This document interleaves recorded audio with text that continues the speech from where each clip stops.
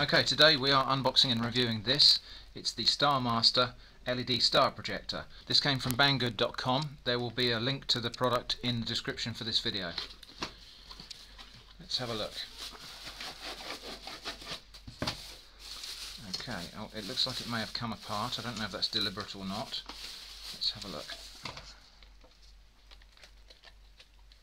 Okay, that just clips back together. That's fine. Okay, I don't know, there's a reason for that to be able to come off or not, but anyway. So, what have we got? It's got a cylinder of a transparent plastic with a sort of printed pattern of stars inside. It has the months of the year around the side, but I don't know why. Uh, there's a button here marked star, another one marked LED on that side, and there's what looks like a power input for running it from a mains adapter. So, it runs on three AA batteries.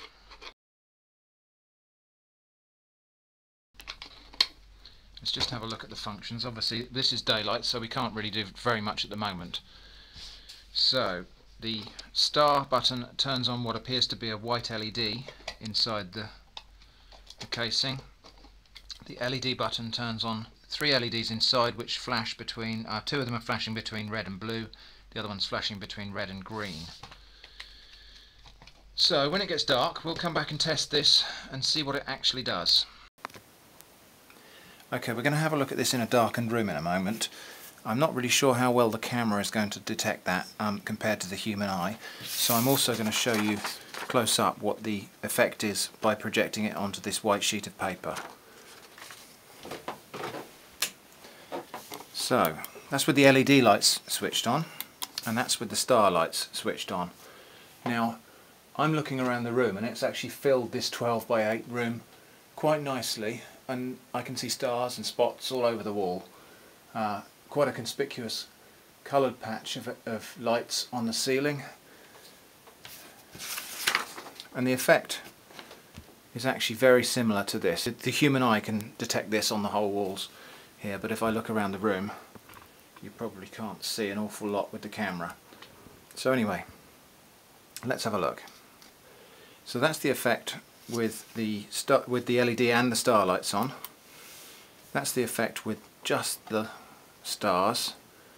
You can rotate this. It's kind of a bit of a shame it doesn't rotate on its own actually. That would be quite nice. And with just the LEDs on you get that kind of an effect which is a little bit too vigorous and flashy for me I think. I actually quite like just the stars personally but that's just a matter of personal taste.